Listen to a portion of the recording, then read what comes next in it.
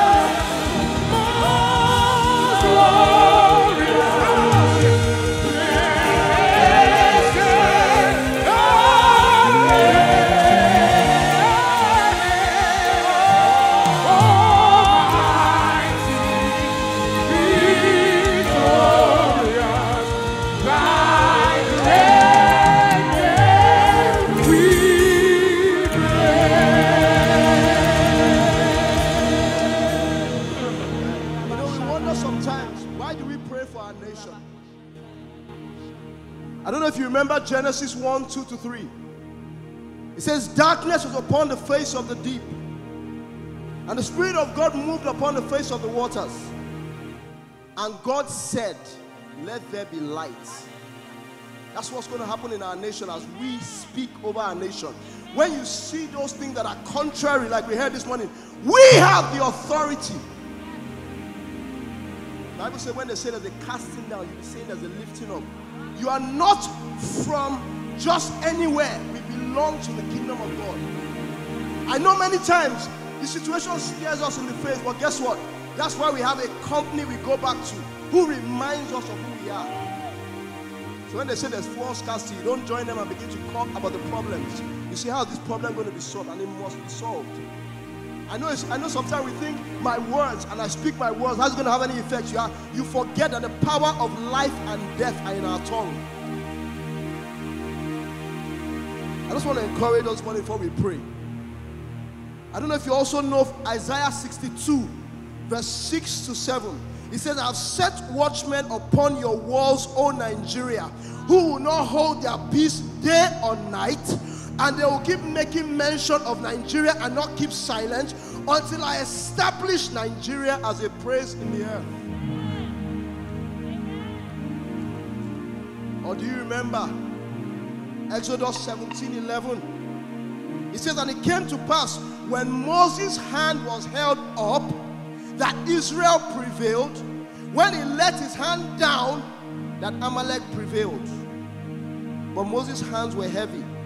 But they took a stone and put it under him and sat thereon. And Aaron and Hur stayed up his hands. Whenever we put our hands down and say, Well, it's all over, let me start thinking of plan B. And Nigeria continues in that way. But if we keep our hands up, we heard this morning, sometimes you think we've been praying, we've been praying, it's not working. Who told you? Do you see the spiritual? Do you see when the cup is going to be full, I'm going to be running over? Do you know whether you are just at that point? And we dare say Nigeria is at a sensitive place.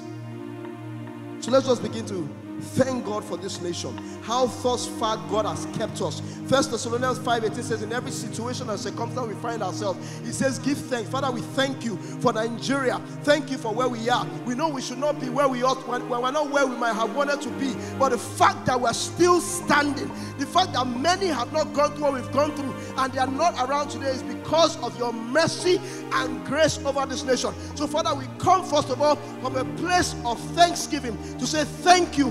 Thank you for all you have done. Thank you for keeping me from the many dangers. Many things have happened to this nation, but yet we are still standing. We are still standing. Despite all what has been done, Nigeria is still standing. And then we're going to quickly go to First Timothy 2 1 to 3. The Bible says that I exhort you, pray for those in authority. Now, don't get me wrong. I know sometimes it's good to criticize, but let it be constructive criticism. Let it not be criticism that doesn't have anything in it. But the Bible says you should pray for those in authority. And I love the next verse. The next verse says what? It says that you, it didn't say them, it says you would then live a peaceable life because why? You have interceded for those in authority. Father, we begin to pray for every leader in this nation. The Lord, we know that the hearts of kings are in your hands. We pray that their hearts will be steered in the right direction. You know, sometimes leaders sit on seats, right?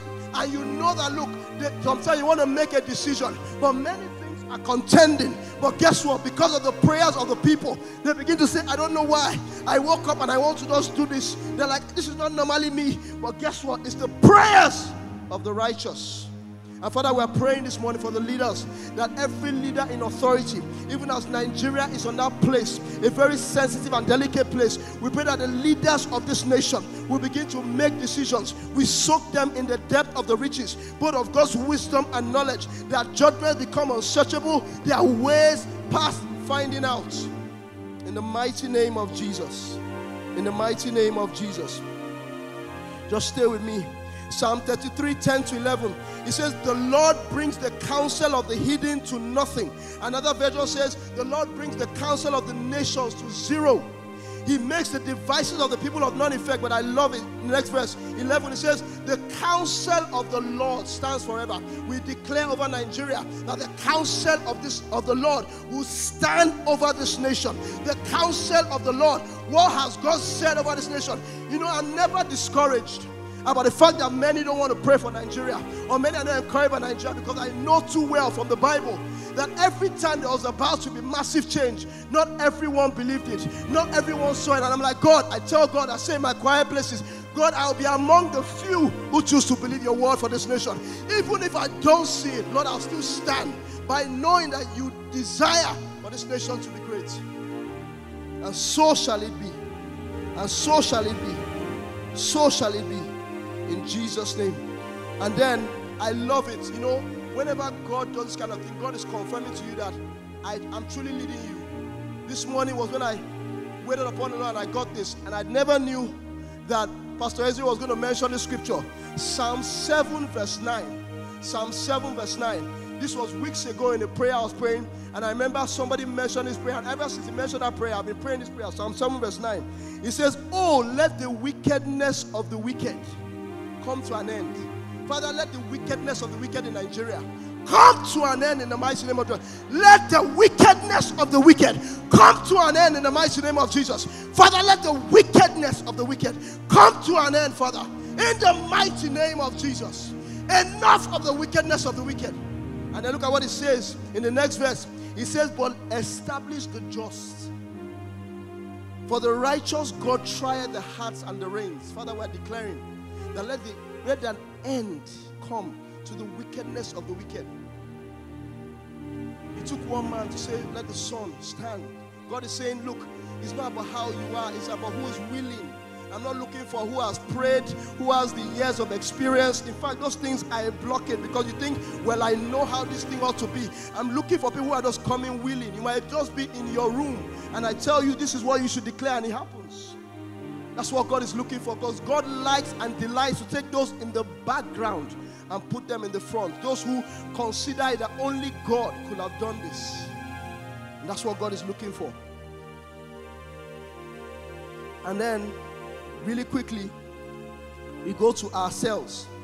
Isaiah 60, the Bible has said what?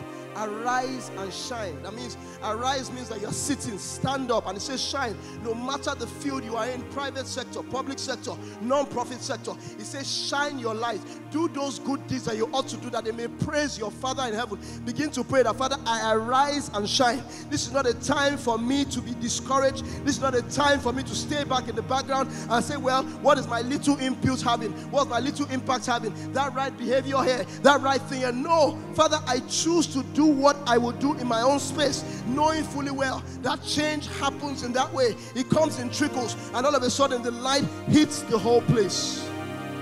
Sorry, my time has run out, but let me just take this. And I love it. I love it.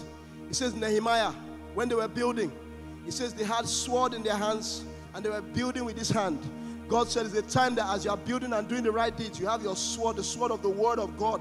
It's not necessarily that's going to be a sword where we're going to have to fight physically, but the sword of God, of, the, of God, His word in our hands, speaking those words as you are building. Yes, as you are building, there are enemies, they are coming, discouraging you. That's what happened with Nehemiah's time. Sanballat and Tobiah, they were all there hanging around, but he said, No, we will continue. So, Father, we pray that despite all what we may see, we will still continue to build. We will still continue to build. We will still continue to build. We will not be discouraged. And as I round up, this is now not a prayer, but this is what I received as I rounded up. And it says, What will be the portion of this nation? And it's Isaiah 60, 10 to 11. It says, The sons of strangers will build up your walls, Nigeria.